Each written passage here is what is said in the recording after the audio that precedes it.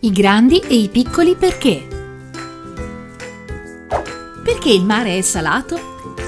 Avete provato ad assaggiare il mare? È decisamente salato, ma non è stato sempre così. Fino a un miliardo di anni fa, l'acqua marina era dolce, o meglio in sapore, come quella dei fiumi e di molti laghi. I grandi e i piccoli perché?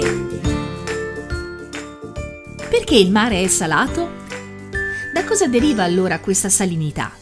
Tutti i mari del nostro pianeta si sono formati per le abbondanti piogge che si sono riversate nelle depressioni della crosta terrestre che iniziava a raffreddarsi dopo il Big Bang. L'acqua piovana, scorrendo sul terreno, ne ha progressivamente inglobato i sali minerali.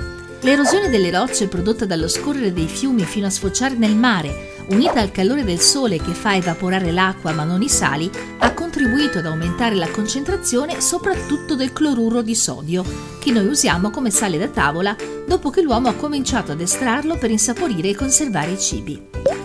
Le acque superficiali sono più soggette all'evaporazione rispetto a quelle profonde, dove la luce solare arriva a fatica, quindi gli abissi oceanici sono un po' meno salati. Secondo recenti teorie, anche la decomposizione degli esseri viventi e il materiale che fuoriesce dai vulcani sono responsabili della concentrazione di sali nel mare. Oggi hai imparato perché il mare è salato